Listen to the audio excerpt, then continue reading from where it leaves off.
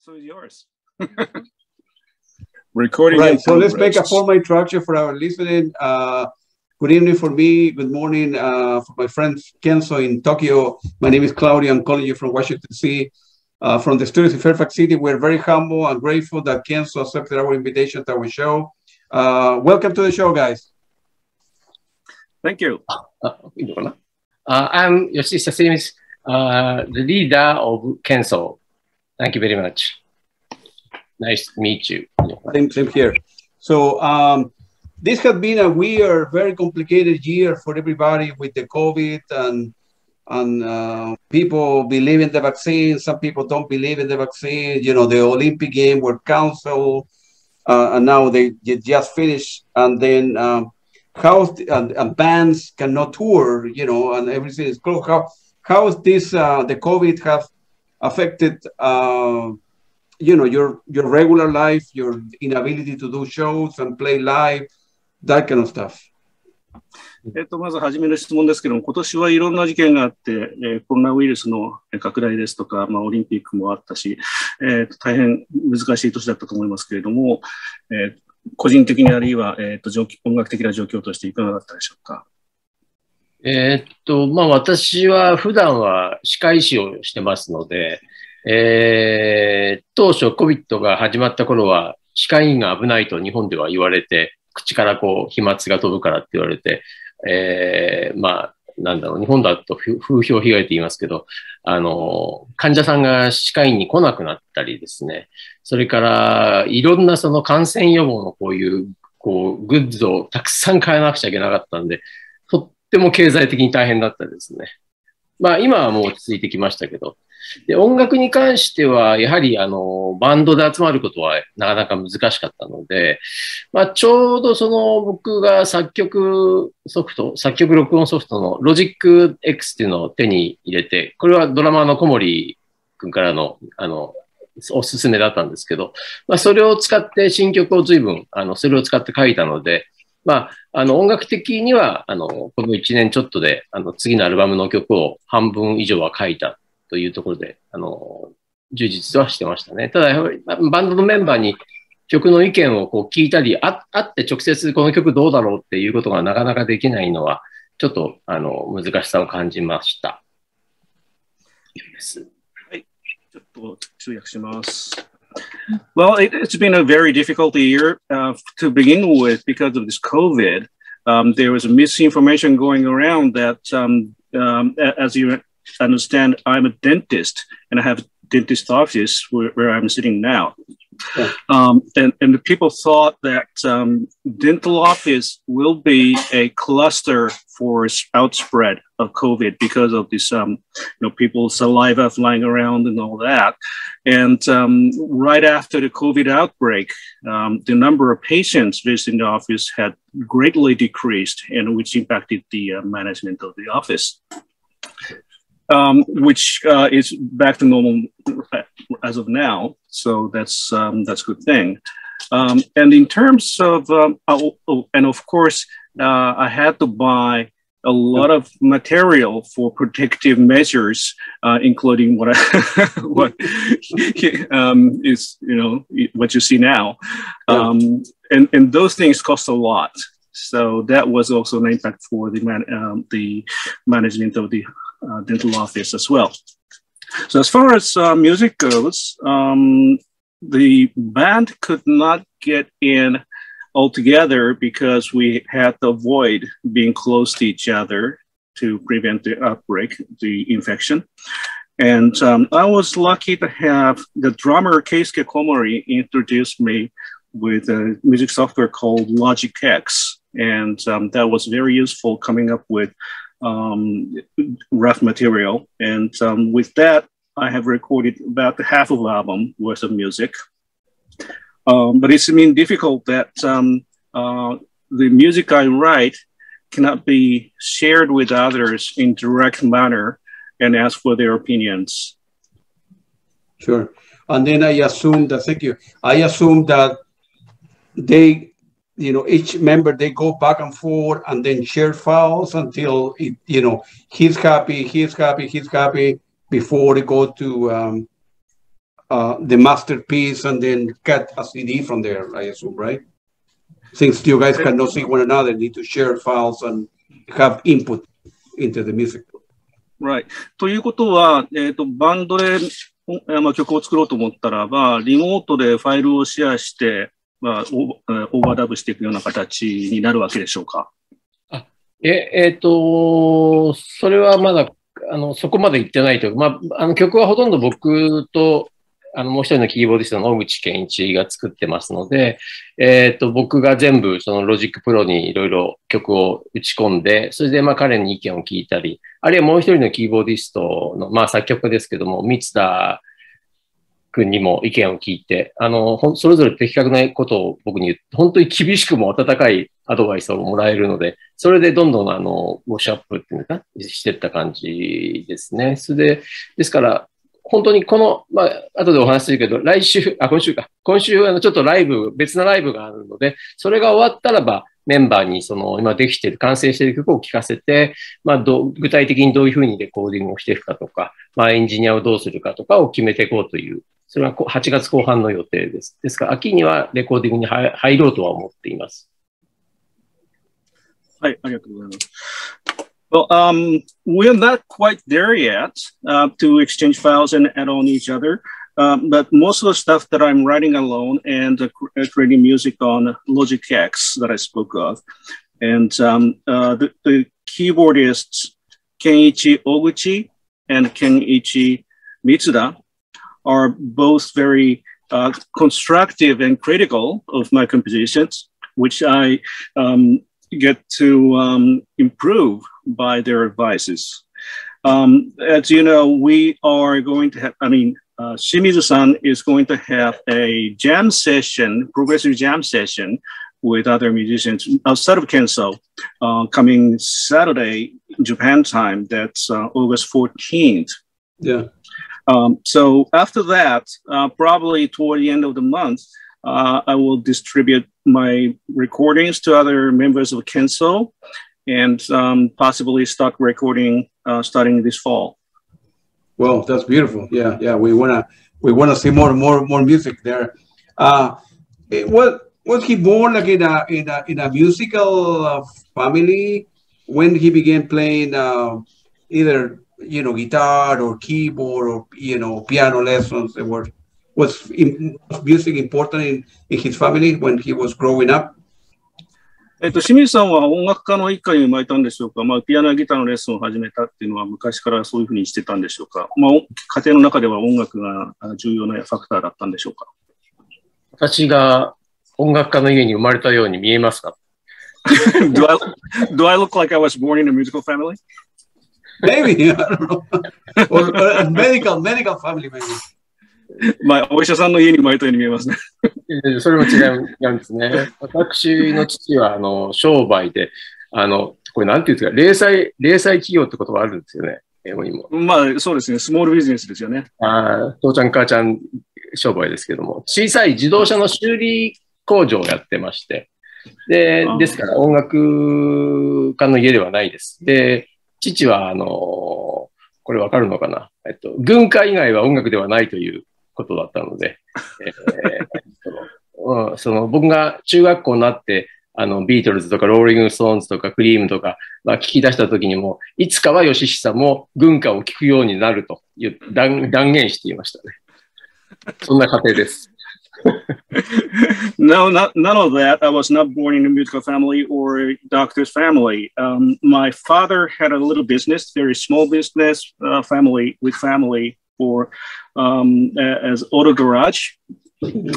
and um, he did not recognize any music other than military marching uh, as, wow. as, as, worth listening. And uh, when Shimizu-san grew up and um, discovered about Beatles, Rolling Stones, and Cream, um, his father got upset and um, he s- declared that uh, one day uh, he will understand the beauty of the military march. wow. and, and the, the rest is history, right? He didn't he didn't understand the beauty of the military and then he went to rock and roll. まあそういう文化とかにはあまり興味がなくて、まあロックンロールに目覚めたんですね。そうですね。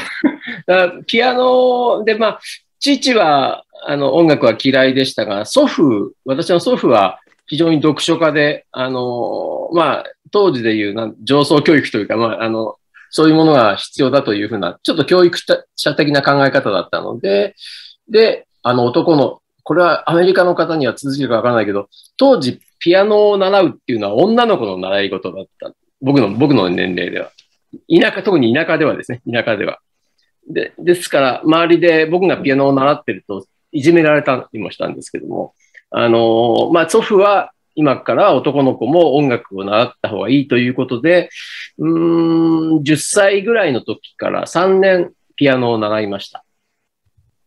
で、その後、それでちょっとあの並行して、あの、音楽の先生が、小学校の音楽の先生が、あの、フルートを、君はフルートに向いてるから、フルートをやった方がいいと言って、フルートを2年間教わって、それが僕の音楽を、の正式音楽のキャリアですね。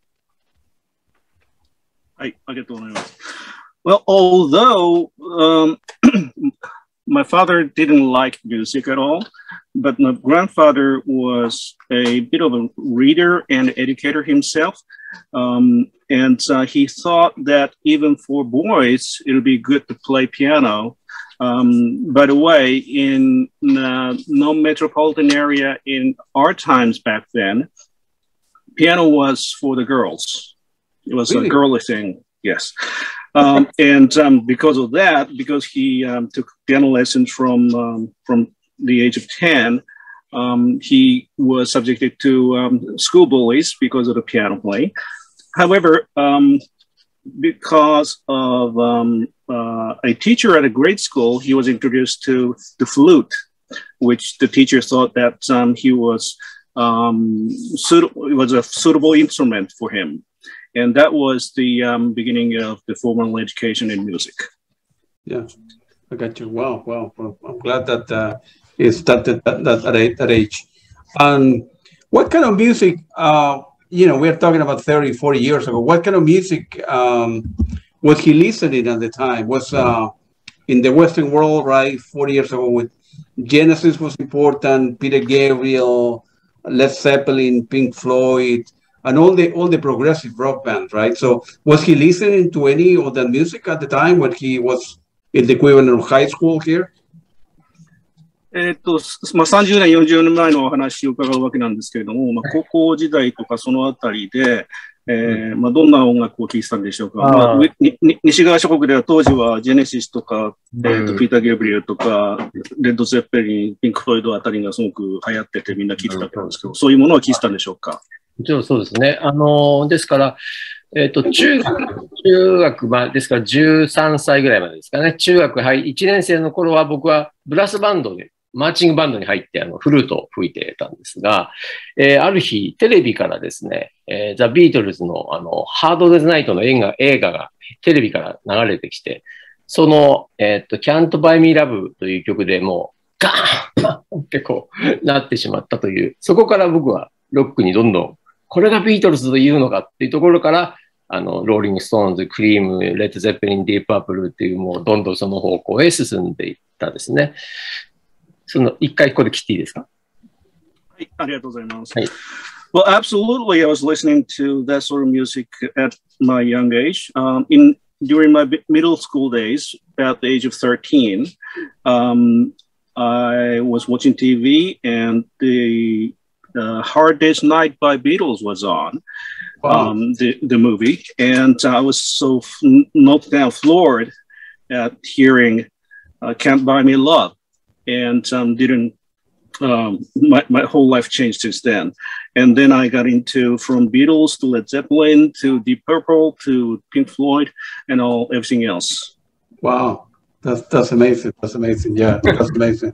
And when before after finish the equivalent of high school here, and then was on one hand, right? He wanted to go to whatever medical or dental school.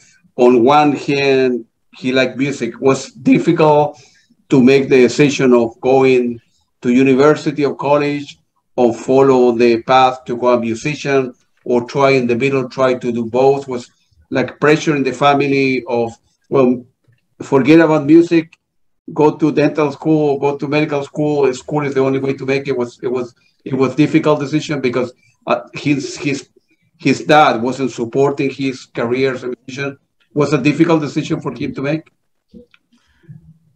はい。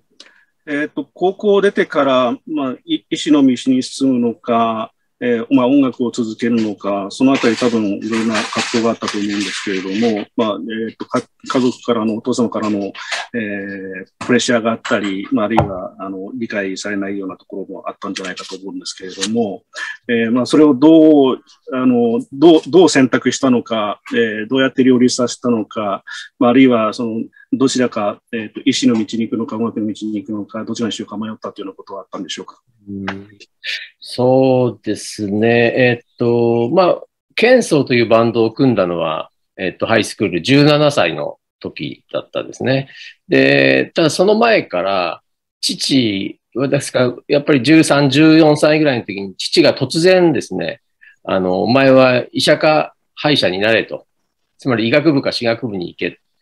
そうしないんだったら店で働かせるって、高校には行かせないって言ったんですね。つまり店で働くってことは僕は自動車を修理することになってしまうので、それはちょっと、まあ、今だったら何をバカなこと言ってんだと思うけれども、当時は子供でしたから、それは大変なことになると思って、とりあえず父の命令、まあそれはもう、こう、先生政治っていう、あ、ありますよね、用語はね。チャウ、チャウ、チャウシェス、チャウシェスクみたいなもんですよ。だからその先生政治だったんで、逆らうことは許されないような家庭だったので、あの、僕自身はもう父の言うがままに、まあ、医学部か私学部、で、どうして私学部にしたかっていうのは、なんとなく医学部よりもバンドができそうだったからっていうことなんですよ。それで、あの、ですから僕自身は、あの、今は歯科医として非常に楽しく充実してやってますけど、歯科大入った時は、あんまり歯医者になりたいという気持ちはなくて、早くバンドをやりたい あの、思ってました。はい、ありがとうございます。um, okay, so when uh, what, I, I formed Kenso, um, put together Kenso, the band Kenso in high school when I was 17. But before that, um, at the age of 13 and 14, um, my father, who is a dictator in the family, um, told me that uh, if I wasn't going to be um, working in his auto garage shop. Um, he would not be going to high school, or he would be a doctor or dentist. So he was given choice between be- becoming doctor, dentist, or working in his garage. And he didn't want to work in a garage, so he picked up the um, um, path for medical um, studies. And between the uh, surgeon and another medical field and a dentist, uh, the particular field of dentist. He chose that because he felt that it's it will give him more free time to play music. and uh, all he cared about um, going to a dental medical school, uh, I mean, college, um, he just wanted to play music. That's all he wanted. Oh, yeah. Um, well, yeah. And he did, you know, and the rest is history, you know. He ended up doing both, you know. まあ、それで、まあ、歴史に刻まれた通りで、えー、音楽をなさってきたわけですよね。そうです。でも、歯科大、歯科大もものすごく忙しくて、予想に反して、あのー、3年間は全く音楽活動ができなかったですね。歯科大の中で。えー Well, the, the college was really busy with um, dental study, and he was not able to do any music for um, three years. Wow, yeah, so about yeah. Well, but at, at the end, he ended up doing what he liked, which is which is important. まあ最終的にはやりたいことができて、それが一番良かったですよね。It went sideways, but eventually he get it to do what he liked, you know. まあ少し道はくれって言いましたけれども、最終的には大きな道です。Oh, be, be, be, before I before I forget, I uh, I will I will sing some a very good friend from with Paul Vertigo from Pamethini. I will I will get him an autograph CD for Pan Metheny, For Pan Metheny group and a, and a signed picture for Pan Metheny as well. I will send it to, I will send it to, to, to Tokyo next in a couple weeks. Wow.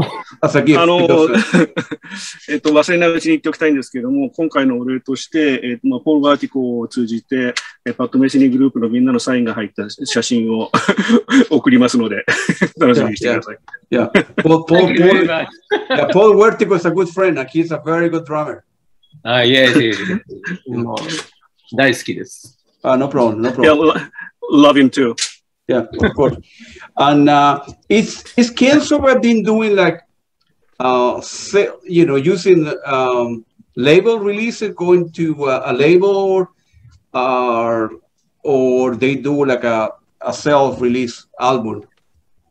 えっと、ケンソーはレーベルに所属しているんでしょうかそれとも自費で出版されてるんですか えっと、最初の2枚、ファースト、今ここに、前前はね、あの LP、あのアナログ、今ビニールっていうんですか？ビニールレコードでいいんだけど、これと、Yeah. だから、えーっと、どうだっけ？あ、セカンセカンドがないという。あったあったあっった。これ.これ、これ上田さんがライン英語のライナーを書いてるんですよね。Yeah. そうでしたね。はい。そうそうそうそうそう。これ。これはインディーズで、あの、自主、なんていうの自主制作っていうんですか自分自費で出してるね。はい。うん。そこから後の、えっ、と、夢の丘の前はなんだっけ。えっ、と。なんか最近自分のアルバムのことも忘れちゃうんだよね。あの、セルフタイトルのやつ。ああ、そうだ。これ、これか。これですね。これが、はいここからキングレコード。ここからキングで、次がスパルタっていう感じですかね。夢の丘。これはね全部キングレコードですね。そして、はいで、あとその、とてもキングレコードから出してくれそうもない、こういう DVD、All right. Live in the U. Wow. それから、これを、こう、これ DVD Yeah. Of course. から、まあこれは、Oh man, that's a beautiful. I don't have any of that stuff. Yeah. I need. Wow. When when is that? Which one? Which one is that? これそれは何ですかあ、これはですね、えっと、なんだっけ、1994年、んじゃない。あ、すいません。2004年から2014年までのすべてのライブを収めた、あの、DVD です。これ Well, this this is a collection of DVD of all the live performances from 2004 through 2014. Wow. It's a limited edition. これ限定版ですよね。限定版。でも今日のあの、ポール・ワーティコたちのサインをいただくんであれば、お礼で僕はそちらに差し上げますよ。これ Okay, well, in return for your return for your favor of sending the Paul Vertigo and, and Patnicini group photo with autograph, I will send this package to you. Thank you very much. I appreciate it. I need to get it so I can play. So the reason that I wanna Kenzo, Kenzo is known in United States, but not that much. And my reason is I wanna promote and play. uh, The way I do it is I send you a, a link of the interview. You can use it for your social media and so forth. Then I do. I upload the link of the interview to the radio and they and do an special about Kenzo music so a lot of people can listen. So my goal in life is to promote great music. I all my four radios are free and they are always going to be free. I buy all the music. I have no social media, no advertising. It's 95% is music and the other 5% interviews and there and I'm broadcasting at very good quality. The quality I'm broadcasting is very good, and uh, and I don't charge anything, and it's 24 hour a day. That's what whether you are in Tokyo, where you are Paris, you, where you are in Latin America, where you are in Brazil or Chile or Argentina, you can listen to great music from people all over the world. That's what I have about 6,000 listeners, and my radio is always going to be free. So I always want to promote good music. Oh, that's fantastic. えっと、えー、質問、質問に答える間もなく、えー、次に行っちゃってるんですけども、あの、まあ、私のラジオ、まあ、これは、えー、95%が音楽で5%がインタビューになってるんですけれども、えー、まあ、とにかくとにかく音楽を広めたいっていうのは私の、えー、ゴールで、で、えっ、ー、とい、いずれあの、リンクをお送りしますけれども、えっ、ー、と、ラジオの中でこのインタビューを流して、そして、喧騒の音楽のスペシャル番組もやりたいと考えています。Well, thank you very much for showing interest in our music. And um, uh, to answer your previous question, yep.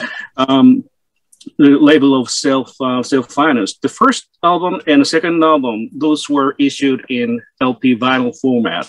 Because they were issued in the 1980s. Um, and they were self-financed. And uh, for the reissue of the second album, Kenso 2, um, me, myself, um, th- this guy, uh, contributed uh, English line, liner notes. Wow. so, yeah, um, that, that's my relationship with the band. Uh, and third album on, King Record, is one of the larger record labels. Um, they are raking in for the girls band, excuse me, girls band called um, AKB 48. Uh, was it 48, 47, 46, whatever. Uh, あれ、AKB46 でしたっけ何でしたっけ ?8 でしたっけ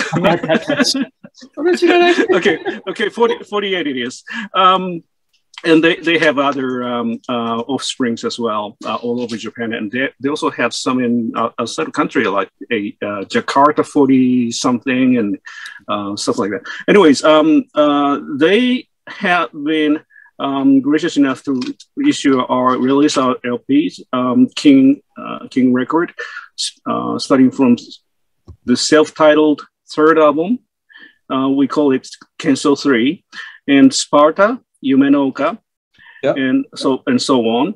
But um, uh, things like DVD Live in USA and Kenso's Guide to Progressive Rock mm. and uh, Eigo no Tabibito, the multi-disc package that I was showing to you, yeah, were not from the label. Um, I got you. But yeah. they, they had to be self-financed. Self-financed. Um, right. Is how how is uh how is Kenso? Because I know that in, in Japan, you know, electronic music, progressive rock is very important. It, it's it's Kenso is is very popular in Japan as well. Another band, great band, is called Metafy that I really like as well. And it's it's it's when Kenso does, you know, forget the COVID, but when Kenso goes in tour in in uh, in Japan. They sell a lot of a lot of tickets. It's very popular. They sell a lot of records. That is popular in Japan as well. Kenso as a band. Uh, which was the band you said something five? Uh, Metafy also. I don't know if you know them. It's very very good too. I, I will send Meta- you a link. Okay, Metafy. Yeah, Metafy. Okay.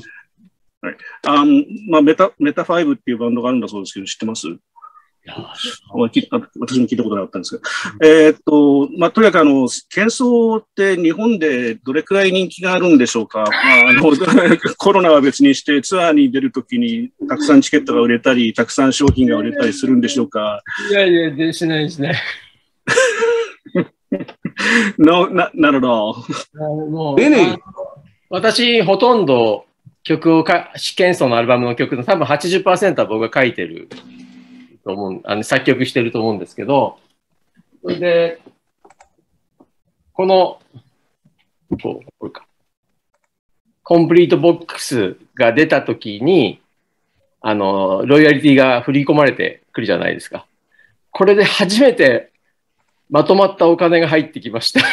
わかるかないや、それまでは本当にこんな声だったから、これやっぱりこれだけ曲が入ってたし、僕がほとんど曲を書いてるんで、作曲家のロイヤリティがあの入ってきて、あの、妻にあのバッグを買ってあげました。well, um, to tell the truth, 80% of music that I um, uh, that Cancel plays is written by me, and um, until this box set called Cancel Complete box set yeah. came out, um, I was uh, only paid a meager amount for a royalty. Really? Uh, yes, um, and, and, because 80% of music is written by me, when this box set came out, uh, I, I, was for the first time paid a um, good amount.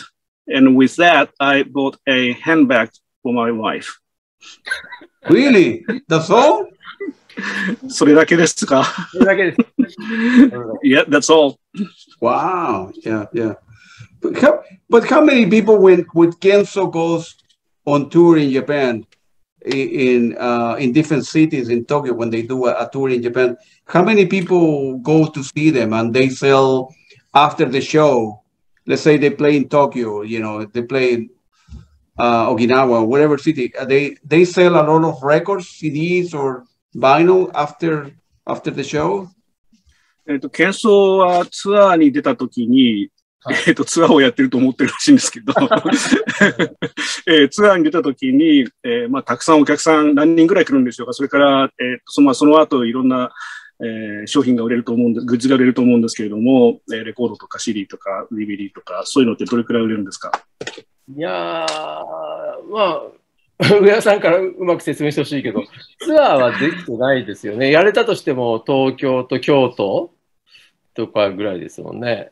なんですよそうですねだから,、はいうん、だからあの、年にコンサートが一番多いところで3回ぐらいだったですよね、1年に確か。ああ、そうですね。だかはら、その、いわゆるツアーっていうのはやってな、やってないっていうかおかしいから、でもそんなに、あの、それで CD が売れたっていうことはないですけど、うーん、まあ、後でお話しする、このプログフェストとかニアフェストの時には結構 CD がね、上田さんの個人力もあって売れ、売れましたよね。えーだから日本、はい日本ではそのツアーはやってないからっていうふうに。い。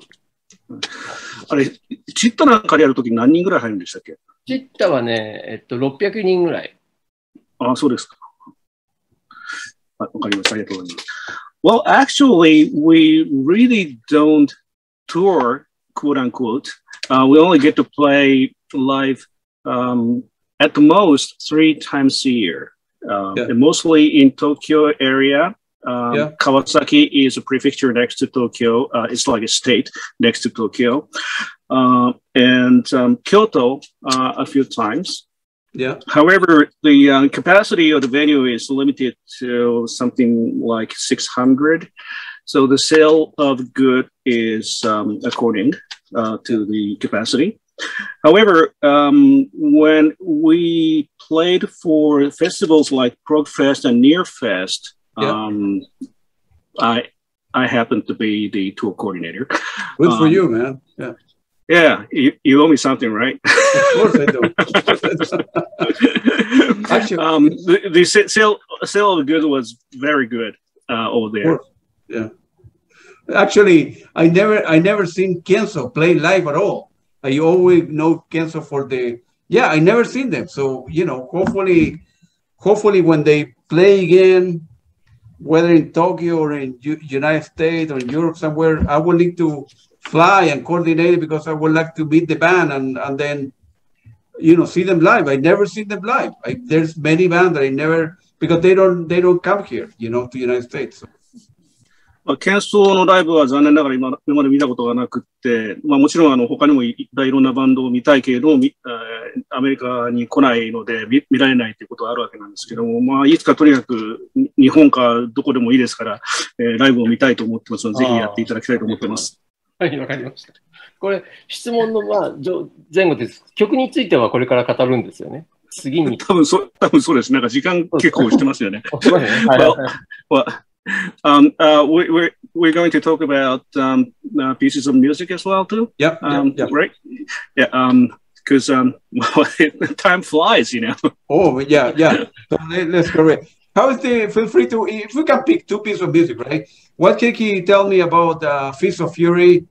Uh, and then the other one is uh, Sora ni Hikaru, if we can cut one. right? えっと、じゃあ、西部門と、それから空に光について教えていただけますか、 えっと、正部門は僕の曲ではなく、キーボーディストの小口健一の曲です。で、ですから彼に昨日、あの、ちょっとコメントをもらってきました。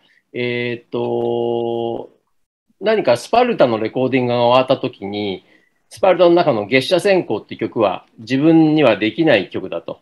だから、小口の曲には僕にはできない曲を期待したいと僕が言ったらしいんですね。で、それにがずっと心に残っていて、小口健一は、性部門は自分の中でのいわゆるプログプログレッシブロック的な概念を取り払って、よりストレートでパワフルな曲を作ってみたと。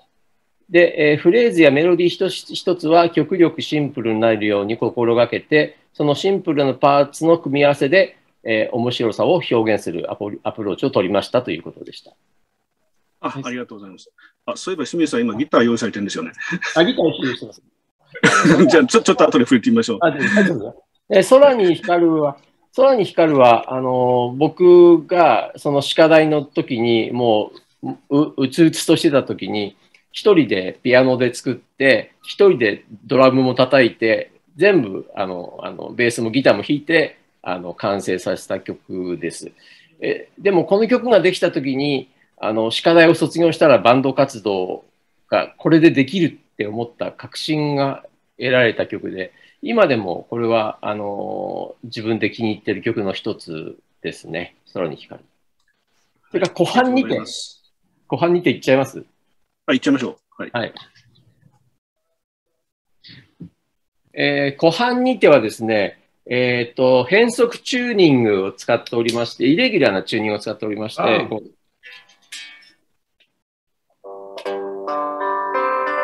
まあ、ダドガドって言われているものの、じゃここにカポタストをしています。そして、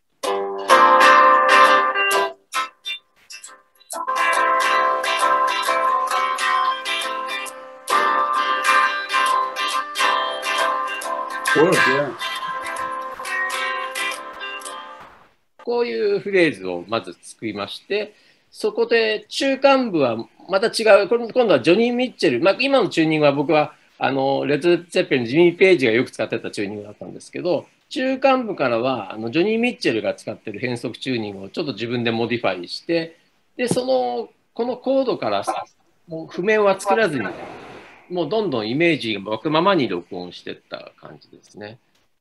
で、僕の頭の中には、あの、北海道という場所があるんですが、北海道の小さな沼にちょっとこうあ旅行に行って沼にこう佇ん座ってた時にいろんな自然の音がこう聞こえてきてなんかとてもこう神秘的な雰囲気になったんでその時のことをあのギターで表現したのが後半にてですね。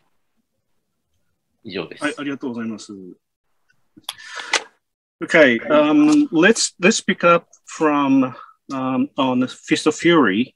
Yep. Uh, it's a song written by the keyboardist Kenichi Oguchi. Um, he uh, actually he he wrote him to ask him about how he came up with the idea of the song.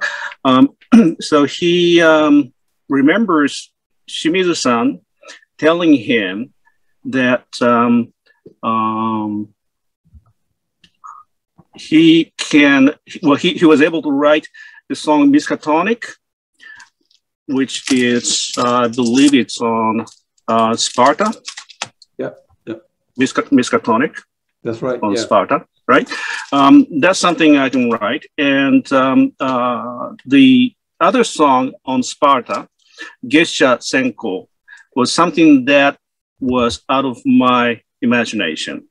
Yeah. And um, uh, I would like Kenichi Oguchi, you, to write something that um, I wouldn't be able to write. So he, that's how he remembers it. Yeah, and the Feast yeah. of Fury came out as something that Kenichi Oguchi wanted to do something outside the box of what is called prog and wanted the song to be powerful and straightforward.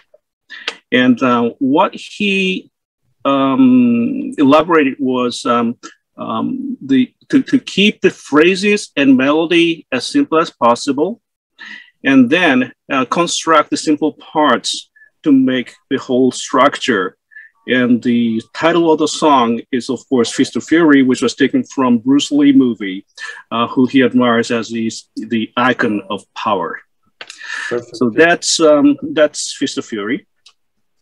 Um, Sorani Hikaru was a song that Shimizu-san uh, wrote during his last year of um, dental college, uh, all on his own. He played the piano, drums, bass, guitar, everything, and record himself. And that is the song that um, gave him confidence.